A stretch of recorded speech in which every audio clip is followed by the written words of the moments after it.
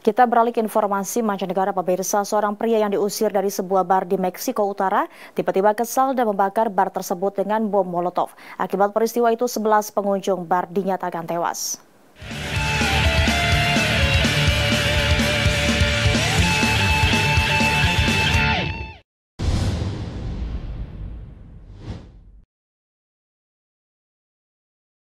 Sebelas orang tewas dalam dugaan serangan pembakaran sebuah bar di kota Luis Rio, Colorado, Meksiko Utara.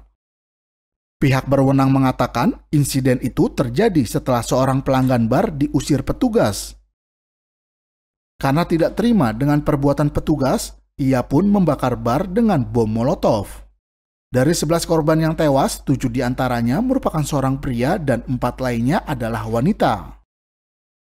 Selain menewaskan korban jiwa, enam orang pengunjung bar pun alami luka bakar serius. Petugas pemadam kebakaran yang mengetahui insiden ini pun berusaha memadamkan api yang membakar seluruh bangunan bar. Petugas tempat sempat kesulitan memadamkan api karena timbulnya percikan api yang bersumber dari aliran listrik.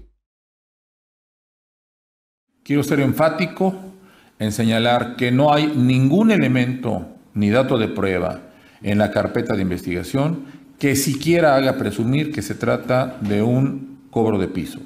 Lo que tenemos acreditado es que es un agresor aislado que había estado consumiendo bebidas alcohólicas en otros sitios anteriores de los cuales también ya estamos realizando las indagaciones correspondientes.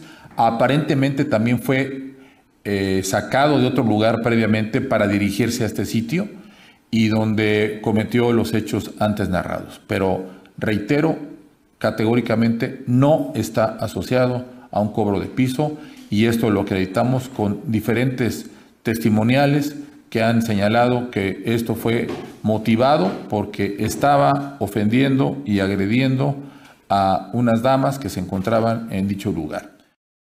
Polisi pun akhirnya berhasil menangkap pelaku pembakaran tak lama setelah kejadian. Saat ditangkap, pelaku yang masih di bawah pengaruh minuman beralkohol itu pun langsung dibawa ke kantor polisi negara bagian Sonora.